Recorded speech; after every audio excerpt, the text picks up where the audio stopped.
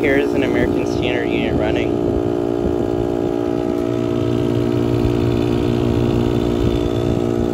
The blades on it aren't spinning very fast.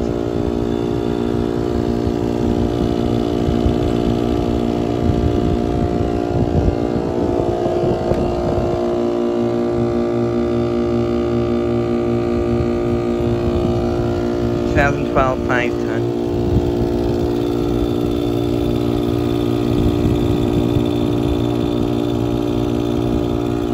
I think the capacitor on this one's going out.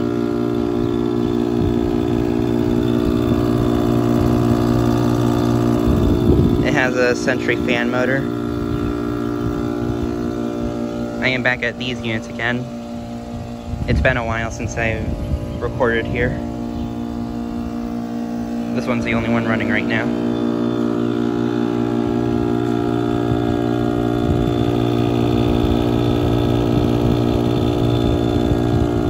Yeah, I think the capacitor is going out on this one because the blades aren't spinning very fast at all.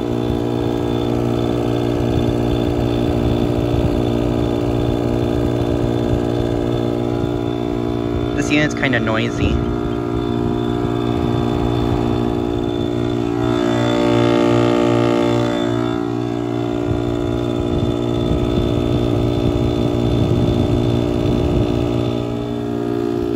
Nice units. Anyways, thanks for watching.